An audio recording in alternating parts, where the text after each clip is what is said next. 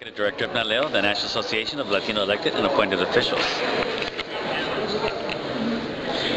Well, our, our priority for uh, 2009-2010 will be ensuring a complete count of the Latino community in the 2010 census.